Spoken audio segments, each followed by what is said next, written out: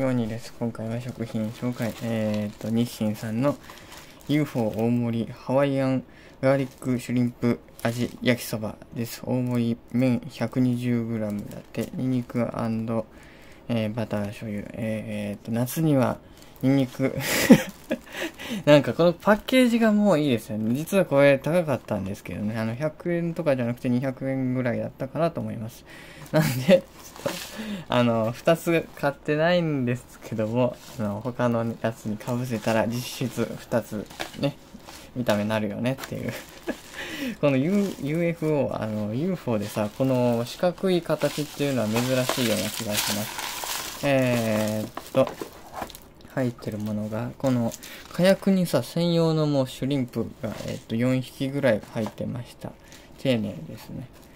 あー、でも、そっか。こうさ、麺に、ね、この、小さい袋に入れなくても麺に直接っていうのは無理なんですかねどうなんでしょうかだって結局さ、シュリンプ入れて、で、お湯入れる順番じゃないですか。後からだったら、あの、ソースとかは、もうね、難しいけど、どうなんでしょうかね。うん。えー、っと、麺が 120g。えー、なんだっけ。えーっとね。あ、そうそう、カロリーがですね、カロリーが、えー、658キロカロリー。えー、658はさ、うーん、どうだったかな今まで食べてきた中で一番多いのはなんか背脂だった気がします。あれは本当にすごい、すごかったね。さすがその油を売りにしてるのは、あの、カロリーが高いっていうわけでいただきます。それが作ったのはこちらです。おっとえーっと、シュリンプがもう下の方に、ほら、えーっと、5、6、あ、5、6はいないわ。4匹ぐらいは、えーっと、いました。いただきます。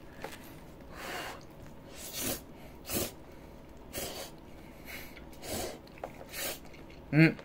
うん。うまい。これはね、あのーパスタのガーリック、もう匂いというか味というか、食べた瞬間から、パスタのガーリックのあれが、ちょっとトラウマなんですけどね、前ね、そのガーリックが入った、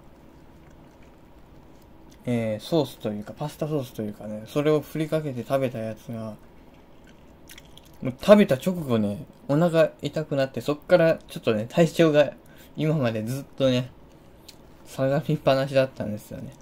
あの、なんか、なんか、ちょ、食べてる時にそのね、あんま言うことじゃないんですけど、トイレがなかなか辛い感じだったんで、今は、まあちょっと、は、あの、なんか、あの、栄養がありそうな、生薬、製薬だったっけね。あの、漢方薬とか食べてるので、まだまあ復活できてるかなと思うんですけども、まだまだちょっとね、ニンニクは食べない方がいいかも思って思ってるんですけどね。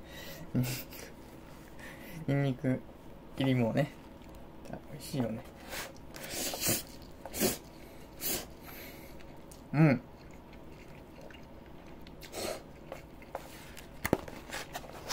エビのあの風味というかそういうのもありありながらガーリック。ハワイアンって書いてあるけどどのあたりがハワイアンなんでしょうか？ちょっとわかんない。ほらこれねえっ、と英語のようにねめちゃうまって書いてありますけどこれは日本語ですね。ただ単にめちゃくちゃうまいっていう意味です。言う必要性なさすぎ。なんかハワイ限定っぽい感じがしますね。デザインがねすごくいいですね。あのデザインもかけてるからこそのお値段なのかもしれない。あとだから、そのシュリンプが入ってるので、エビって言えよ。エビとは、あの、言わない。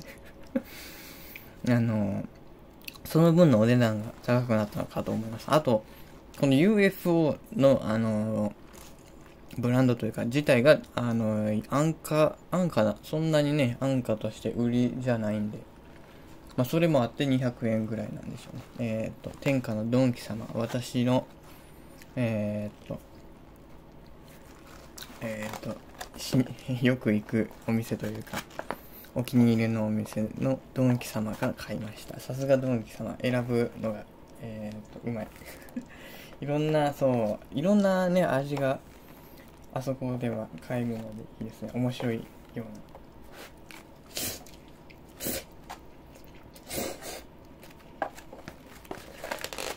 うな。うん。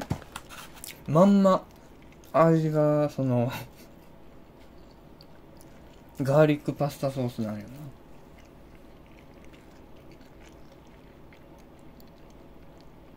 これはお腹すいたらね、まあ、ペロって食べちゃうね。ただ、そのお腹が空いてる時とかに、ガーリックは、あの、やばいっていうのは調べて分かったので、皆さんね、気をつけてください。これはね、ガーリック片は入ってなさそうなんですけども、まあ、ガーリックってニンニクですけど、その、フライドガーリックって書かれてあっても、ちゃんとフライドされてなかったらね、結構、その生のニンニク自体が、かなり胃に、あのー、来るんですよね。なんというか、あやつはね、消毒作用が強いんやわ。だから、体の中の隅々まで消毒されてもらうとね、えー、大変なんですよ。我々人間は、えーと、体内にね、菌とか、いろんなものがあってこそ、うまくやっていけてるんで、それがないと、えー、っと、ちょっとね、大変。なんかが、問題があるもの食べた時にかなり影響が出やすいんですよね。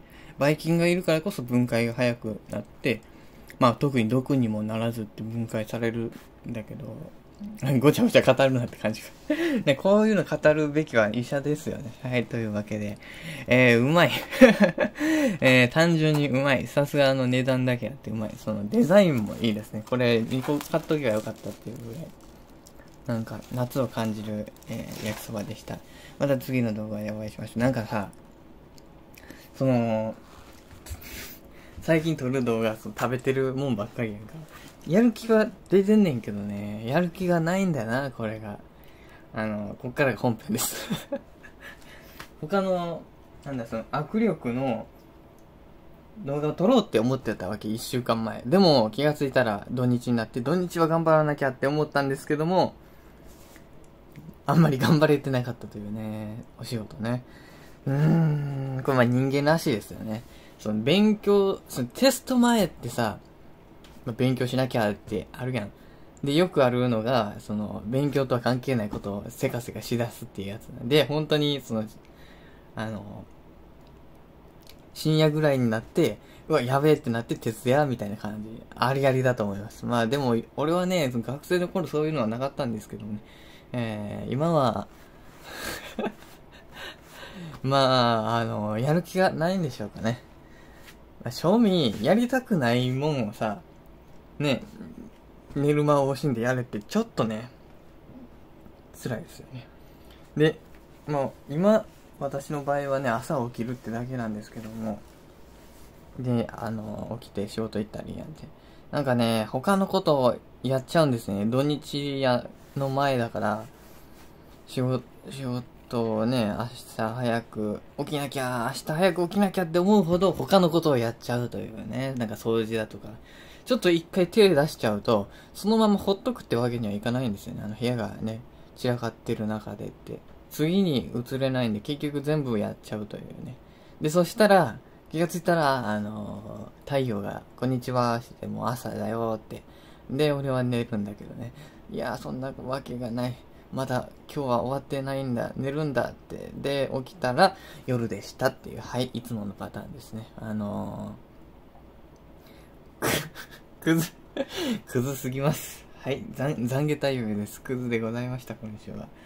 まあ、ありありで、明日、じゃあ明日から頑張るってやつで、なんかの動画を出そうかな。こう宣言すれば、それなりにはね、頑張れるかな。さすがにね、やりますって言ってやらなかったら面白いけど。でも本当に最近暑いですよね。暑いってレベルじゃないんですよ。もう、前々だったら30度で暑いなとか言ってたじゃないですか。多分古い、あの、クーラーで、デジタル表示がついてるやつだと、もう40度とか表示できないんじゃない？ High か Low、Low みたいな、あの、エラーみたいな感じになるんじゃないですか。まあ、俺の今持ってる、持ってる部屋についてるのは、そういう表示がないんで、何度かわからないんですけども、普通にね、もう、朝の11時頃、一番太陽が出てる頃、温度が40度だってさ、40度ですよ。もう30度とかでわーわー言ってる時代じゃなくなったんですよ。40度です。で、俺さ、本当にさ、もう変えていくべきだと思ってるんですけども、なんか学校とかクラブとか、まあ夏休みじゃないですか、今、まあ一応。で、まあクラブあるじゃんまあ、クラブ頑張らないとっていうのわかるんですけども、もうさ、ちょっとね、こんな暑い中で子供たち炎天下で何してるか知らんけど、どんなクラブでもね、生かすべきじゃないと思ってるんです。昔とは違うなと。ね、動物、ね、そんなに対応できないですよ。いきなり30度だったのが40度ってなって。まあ、いきなりってわけじゃない。どんどん上がってきたってだけなんですよ。で、これが、環境汚染が原因かとかはね、うーん、なんとも言えないですね。これ、だからって言って、レジ袋を有料にしたって全く価値がないゴミみたいな政策ですから、あの、世界に笑われます。そんなしょうもないことをしてるんだったらもっと他のやることあるだろうって。ね、工業とかで出た何万トンのね、プラを、あの、減らす。まあ、なかなか難しいですけど、それが妥当です。そんな庶民どもが使ってるレジ袋1枚が2枚が、それに罰金つけて何が楽しいねん。結局買う、買うしかないじゃん。ね、あれって。それ、さ、お金、ただ徴収してるだけじゃないですか。あの、名目では環境に配慮だとか、くだらないこと言っていくやけど、結局買うんやん。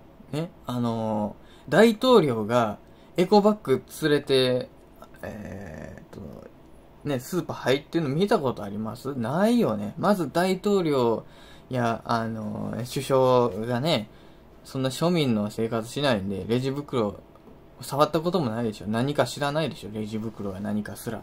ね、プラスチックのスプーンいつ使うのって。あいつらは金でできたスプーンでも使ってるんじゃないですか。だから、わからへんね。庶民がどういう生活をしてるか。そんな奴がトップになっちゃいけないよ。だからね、今の政治を変えるには、全員をクビにする以外に他ないです。正直言ってね、頭がおかしいというか、もう我が国のためにやろうっていう方々がいてないでしょ、あれは。ね、今おかしい政治してんのに誰もそれをおかしいんじゃないかと言わない政治家たち。それはもうね、そいつら全員がおかしいからなんで残念だけど。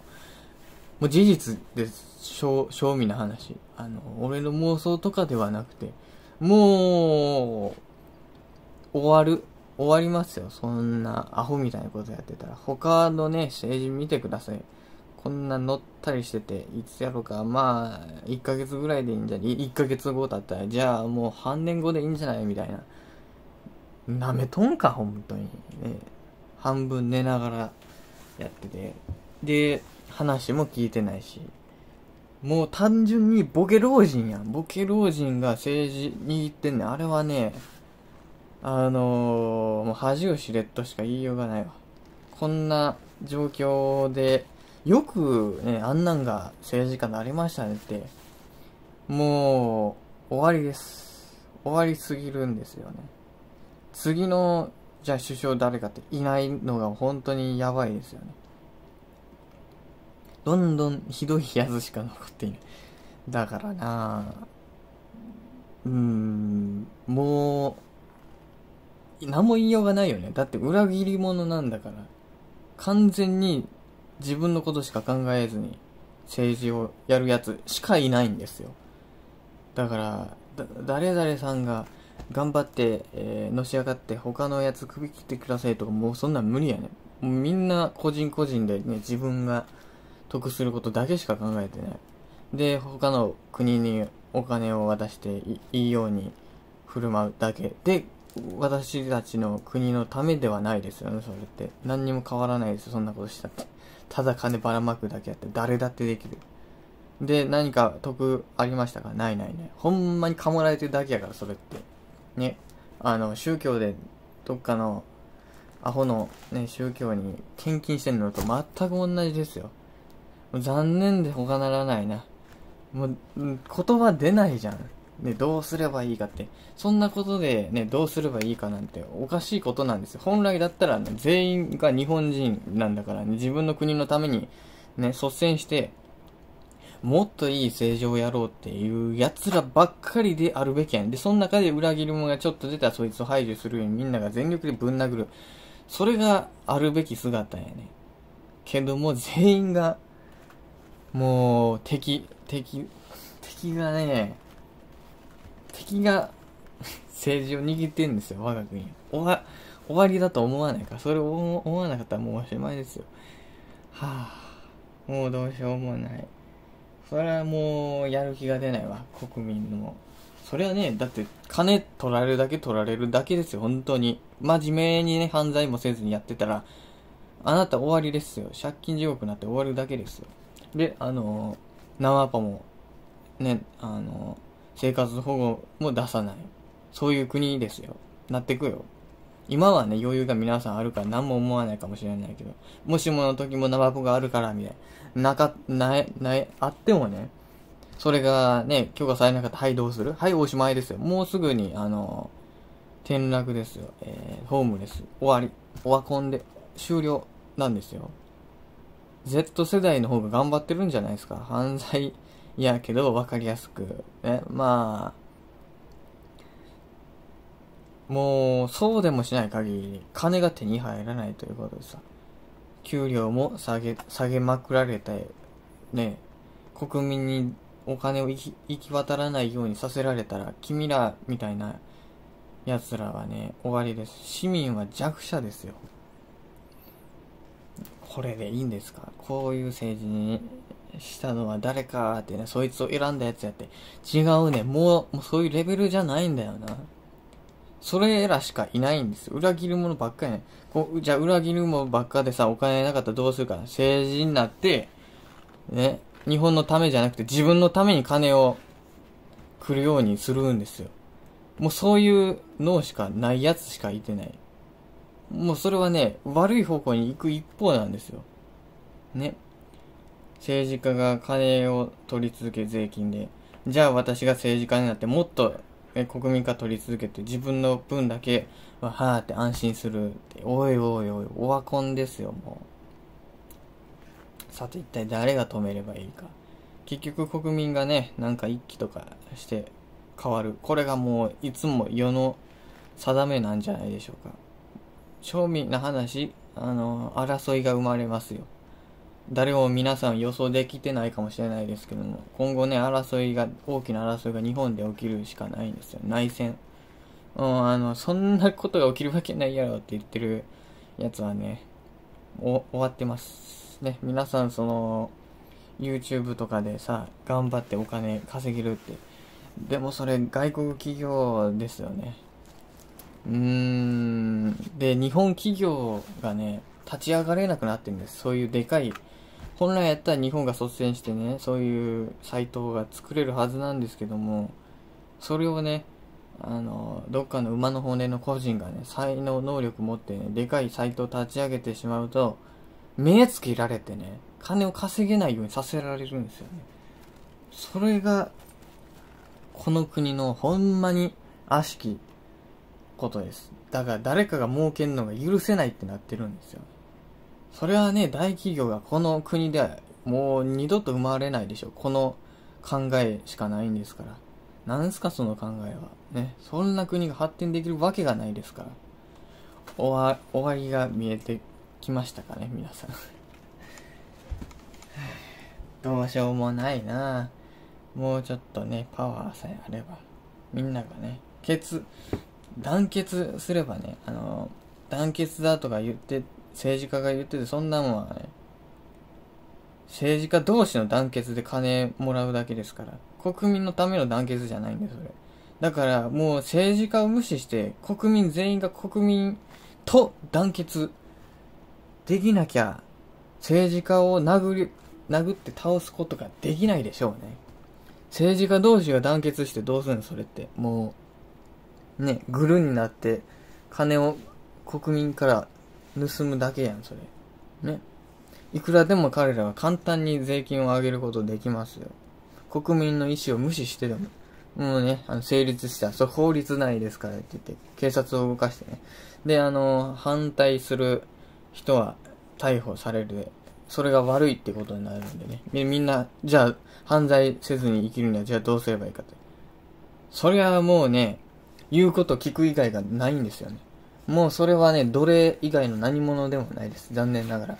だから犯罪する人が、まあ、全員が悪い。あのー、もちろん犯罪自体は良くないんですけど、国、国が、国家が、政治家がね、法律がもう犯罪、もう犯罪レベルのことを、ね、制定したら、それってさ、悪いの、それを無視する国民が悪いんですか？違うよね、さすがに。政治家が悪いんですよ。その法律を作ったようなやつが悪いんですよ、どう考えても。ね？これに気がついてほしい。皆さん呼吸してて、まあ歩いて、歩くのにも税金、呼吸するのにも税金、これは決まったことだからって言って、歩いたやつはもうあの、ね、犯罪者、呼吸したやつが犯罪者っていうような国が、例えばできたとして、これも終わりを感じないんだったら、かなり、もうもう救いようがないでしょ。あの、呼吸できなかった人死にますんでね。これは実質死ねと言うとるんですよ。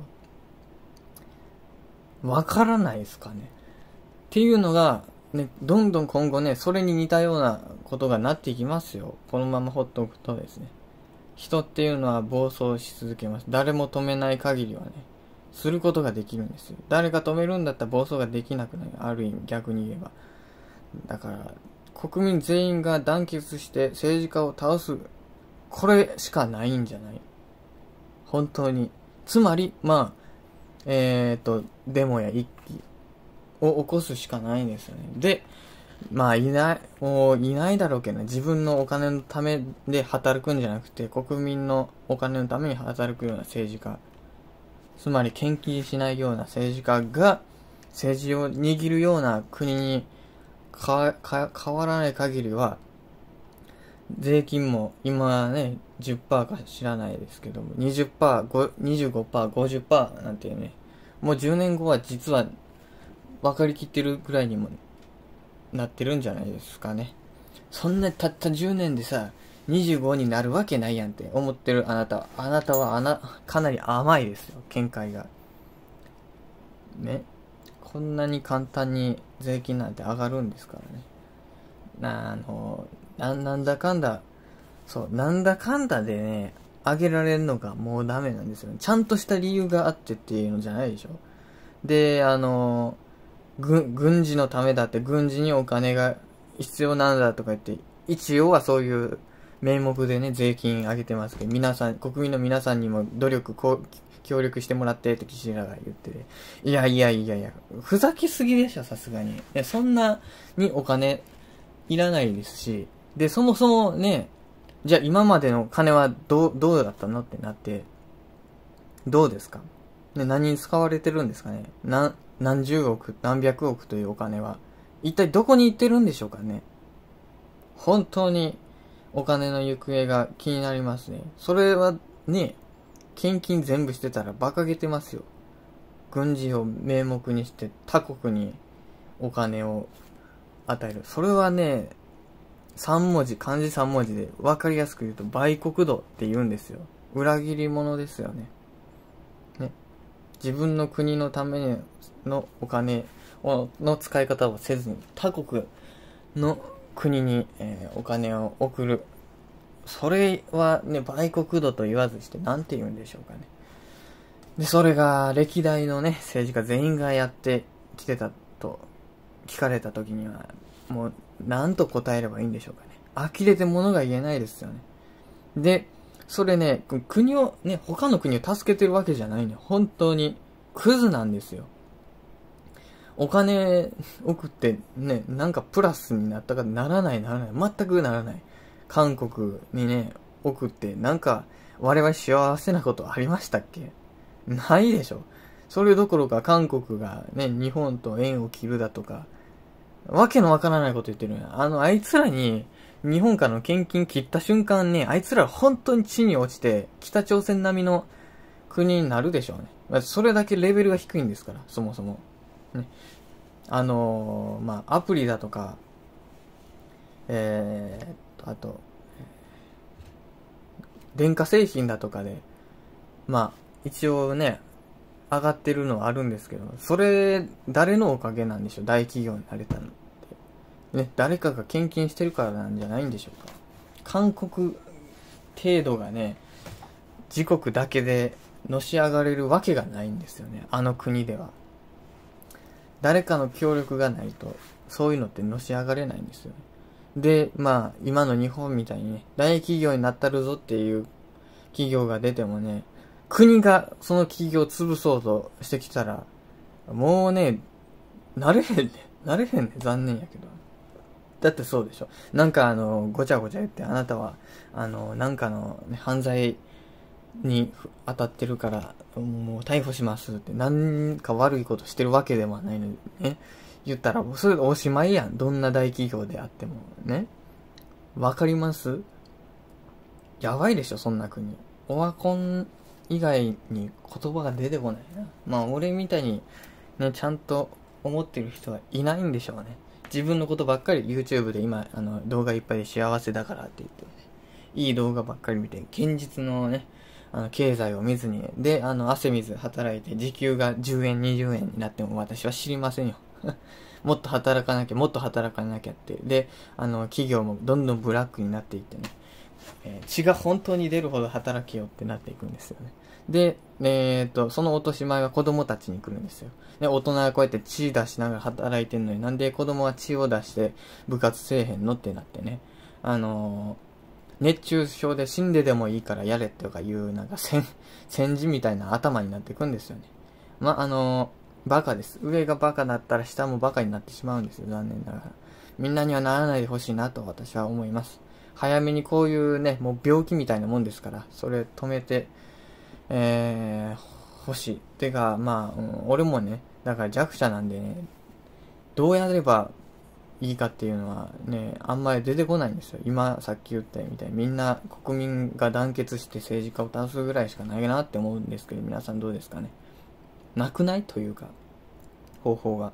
どの国だってそうだけど、ね、あの、政府軍と、あの、民間軍が戦ってみたいなパターンですよ。もうアニメとかでもよくあるように。